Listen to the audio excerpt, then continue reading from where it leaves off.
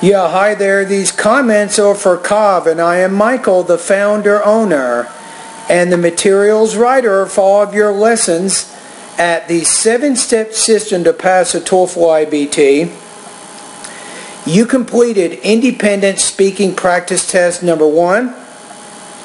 Describe a place you visited as a child. What is your favorite memory while visiting this place? Now, I'm pretty sure that you completed this one already.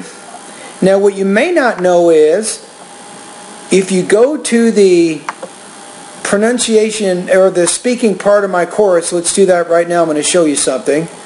If you kind of look through the lessons, you'll see I have an additional uh, 300 topics that you can use to practice your speaking. So there's no reason to repeat a practice test in my course.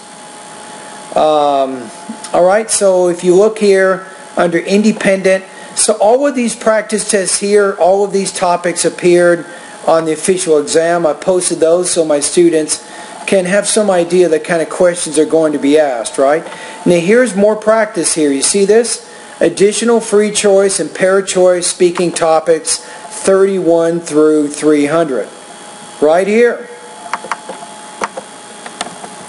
So you can practice all of these all the way down to 300. You see what I'm saying? So that'll give you some good practice too. Okay, so I have the rubrics right in front of me and I'm now going to listen to your practice test so I can give you the most accurate score possible. So I want to listen to the whole thing once, then I'm going to listen to it again and comment accordingly. I think that my most favorite childhood memory is when my mother took me to a park which is nearby our house. It was an amusing memory in my life because mm, first I had a special time with my mom and we are having some photos while swinging, sliding and play tennis in the park. I always memorize those moments while looking photos. Secondly, visiting a park when I was a child is the best memory because it has given me new friends in my life. It means there was a lot of children in the park. So I met a new friends. They all are having contact with me till now. For this, I ever forget my child. Okay, so now we can listen to it again. I'll comment accordingly. I think that my most favorite So if I think that, just say my most favorite childhood memory is childhood memories when my mother is when my mother. So don't forget your verb there, Cav. You need to have subjects and verbs in there. If you don't do that, you will lose some points in your language use. So be careful. took me to a park which is nearby our house. It was an amusing memory in my life. But wait a minute. You need to describe this park. You're not telling me what it looked like. Were there trees? Were there was there grass there? Was there a lake? Were there birds? Were there people walking their animals? Were people riding bicycles? You have to give me some idea of what the place looks like. That way, I can tell that you've answered this first part of the task. You're not really describing the place. Because first I had a special time with my mom and we are having some photos while swinging, slide. We're having some photos. We were taking photos or having photos taken by a photographer. So that's also some language use issues. and play tennis in the park. Now, a couple of things. With the T and the P, you need to pronounce these with more air. So when I say the word park, I'm going to say park, park. I'm not going to say bark, bark. I'm going to say park. So you need to pronounce that P with more aspiration. I always memorize those moments while looking photos. Secondly, visiting Yeah, some language use issues there too. a park when I was a child is the But what is your favorite memory exactly? best memory because it has given me new friends in my life. It means there was a lot of children in the park. So I met a new friends. You say, I met a new friends, but A, you want to say friend, so what friend in particular, who did you meet exactly? And then really spend time discussing that, and that can help you develop your ideas. They all are having contact with Maybe instead of they, who were all, maybe use the word who, so you're using an adjective clause connector, and that's going to show more advanced grammar. me till now. For this, I ever forget my child. Right, so on this one, if we look at the rubrics here, uh, with delivery, I think you can definitely improve in your intonation. So go to my pronunciation lessons 36 through 40 to get some tips on how you can vary your tone more. Language use. You're having some problems with language use. Sometimes when you're forming your sentences, you're not using subjects and verbs in there. So you have to be careful about that. Uh, so, and also I think with language use, you can improve what's called the complex type sentence structure. That means you can improve using adjective clauses, for example. So if you go to the grammar part of my course, study the lesson titled Adjective Clauses so you can get more familiar with this type of grammar. Uh, I think topic development, the problem is you really didn't describe the place and it wasn't really clear what your favorite memory was. So you pretty much have weaknesses in delivery, language use, and topic development. Your score here, I'm going to put you around 2.1 out of 4, 17 points out of 30 on this practice test.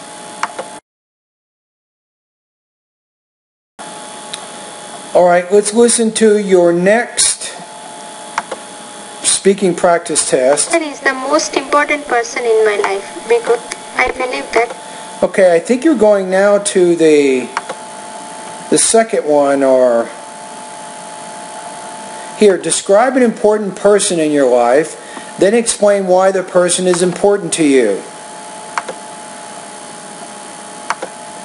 So this is also a very tough question because it's requiring a very specific vocabulary. my father is the most important. I believe that my father is the most important person in my life because he always gives me the best suggestions in everyday life.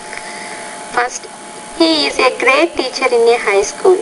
He always motivates me and all students to study better.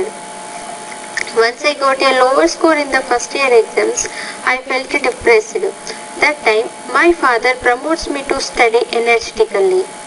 Then I got a higher score in the second year exams. Secondly, my father is the most important person in my life because he also suggests me in personal decisions. It means after my graduation, I feel tentative to choose a major course in a university. So my father helps me to select my best. Okay, so let's listen to it again. Now listen to the first part. I believe that my father is the most Again, you don't say I believe that. Just say my father. Get right to it. There's no reason to put those unnecessary words in there. Try to be as concise as you can. You got 45 seconds for this practice test or this speaking task. Make every word count. Don't use any unnecessary words. Most important person in my life because he always gives me the best suggestions in everyday life. He gives you the best what? Trying to understand this idea. The best suggestions in everyday life. The best solu- the best solutions in everyday life. First, he is a great teacher in a high school. He always motivates me and all students to study better. Once I got a lower score in the first year exams, I Now, once you say once you got a low score, I would recommend use a word like for instance or case in point to introduce that specific detail. That way it's easier to see the connection of your ideas. That would be a comment for topic development. That time, my father That time or at that time, promotes me to study energetically. he promotes me to study. I would say encourages me or he encouraged me to study. I felt depressed. That time, my father promotes me to study I would say at that time my father encouraged me to. I would use past tense and probably say at that time instead of promotes, encourages. So you're having some word choice issues. But what are we missing here, Calf? You, I mean, why not just describe him first? Why are we making this so hard? Give me, give me some description of him. Tell me who your father is. How tall is he? What does he? What kinds of clothes does he wear? Does he have dark hair? Does he wear glasses?